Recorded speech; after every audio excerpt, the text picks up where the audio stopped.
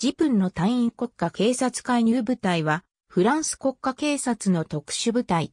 1972年9月に西ドイツで発生したミュンヘンオリンピック事件は隣国フランスにおいても大きな衝撃として受け止められた。レーモン・マルスラン内務大臣は当時の内務省にはこの種の事案に対応する能力に欠けていると結論せざるを得なかった。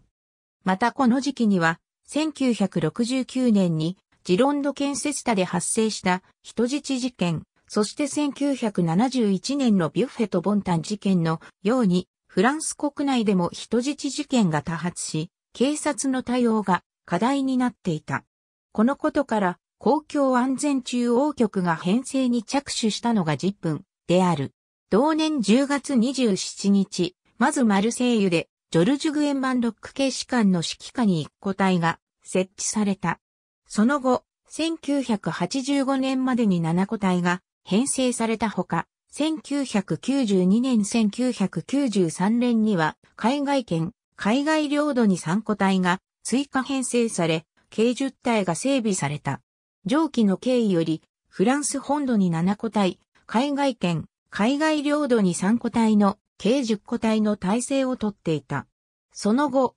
2015年4月に国内の7個隊は廃止され、海外の3個隊のみが存続することになった。ジプンはフランス国家警察の警察官から選抜され、セミオートマチックピストル、サブマシンガン、アサルトライフル、狙撃用ライフル、各種突入用機材など、様々な装備を保有している。DCSP のもと、サンマロ、またはニースにある DFPN の施設において、心理学者の協力を得て約1年間に及ぶ選抜訓練が実施される。志願者の資格は国家警察官で35歳以下、最低5年間に勤務に従事でき、保安条項を満たしていることが条件となる。約50名程度に絞られた志願者たちは、第1週から一連の選抜試験を開始し、面接、性格検査、戦闘能力、閉所恐怖症、めまい、水泳、障害層などの検査や試験を行う。この第一週の終わりに不適格者は排除され、残った志願者は4日後に知能試験を始める。これらの選抜試験が終わる頃には志願者の数は約20名程度となりこの時点から10分の基礎訓練を履修して各部隊に配属される。10分は国家警察総局の指令に応じて全国に展開可能ではあったが、基本的にはそれぞれの拠点近傍の事件に対応していた。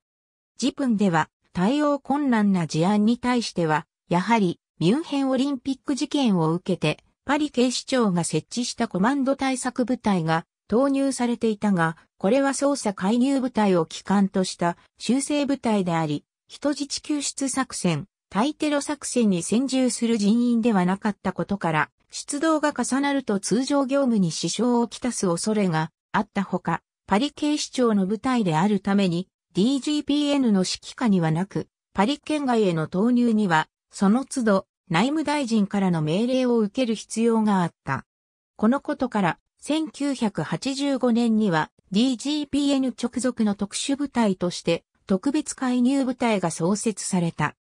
これにより DGPN の指揮下に2系統の特殊部隊が並存することになったことから、1995年8月4日に内務大臣令によってジプの運用方針が確立され、組織、公選規定、管轄区域、任務、行動原則、活動の実施、活動調整が明白化された。